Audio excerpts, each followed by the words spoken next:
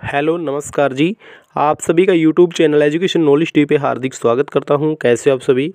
Haryana group D भर्ती को लेकर इस वक्त की बहुत बड़ी खबर आ रही है। जी हाँ, आप सभी के साथ शेयर करने वाले हैं। क्या कुछ इन्फॉर्मेशन आई हुई है, ये आपको बताएँगे इस वीडियो के माध्यम से। कब आपकी ग्रुप डी की भर्ती है, वो निकलने वाली है। कब आपकी परीक्षा होगी, वहीं आपको मैं बता दूँ ग्रुप डी की भर्ती जो होने वाली है, उसमें सीईटी जो होगा, उसके बाद क्या और भी परीक्षा होगी।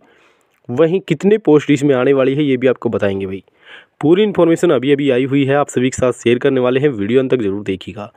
आप सभी से रिक्वेस्ट रहेगी अपना जिला ज़रूर बताइएगा, किस ज़िले से आप हमारी इस वीडियो को देख रहे हैं। सबसे पहले आपको बता दूँ, कितने पोस्टों पर जो सी है वो होगा ग्रुप डी भर्ती का तो मैं आपको बता दूँ, सत्रह हज़ार से लेके बाईस हज़ार पोस्ट हैं इसमें, ठीक है भाई?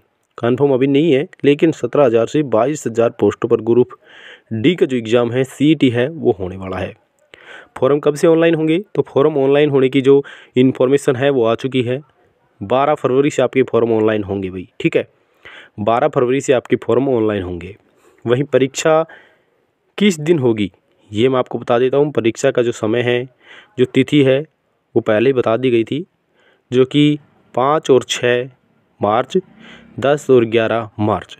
नेशनल टेस्टिंग एजेंसी के पास पहले हरियाणा स्टाफ सिलेक्शन कमीशन ने भेज रखा है, लेकिन लिखित में अभी तक नहीं आया है। लेकिन आपकी परीक्षा ज़रूर होगी, मार्च में, नहीं तो अप्रैल में ज़रूर हो जाएगी भाई, ठीक है?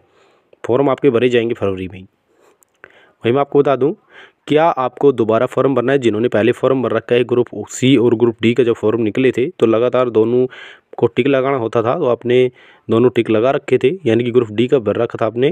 क्या दोबारा भरना है? तो आपको भाई दोबारा भरने की ज़रूरत नहीं है, लेकिन आप कुछ बदलाव चाहते हैं उसमें तो बदलाव कर सकते हैं भाई, ठीक है? ये बड़ी खुशखबरी है। वही मैं आपको बता दूँ, ग्रुप डी का जो सी होगा, उसके बाद आपका कोई और परीक्षा नहीं होगी। उसी के आधार पर आपका सिलेक्शन होगा भाई। उसी में जो मेरिट लगेगी, उसी के आधार पर आपका सिलेक्शन हो जाएगा। उसमें ना तो कोई इंटरव्यू होना है, ना उसके बाद कोई एग्ज़ाम होगा। तो ये बड़ी इन्फॉर्मेशन थी, आप सभी के साथ शेयर की है। उम्मीद करूँगा आपको वीडियो अच्छी लगी होगी। वीडियो को लाइक कीजिएगा। अगर आप नए हैं, चैनल पर सब्सक्राइब ज़रूर करके जाइएगा।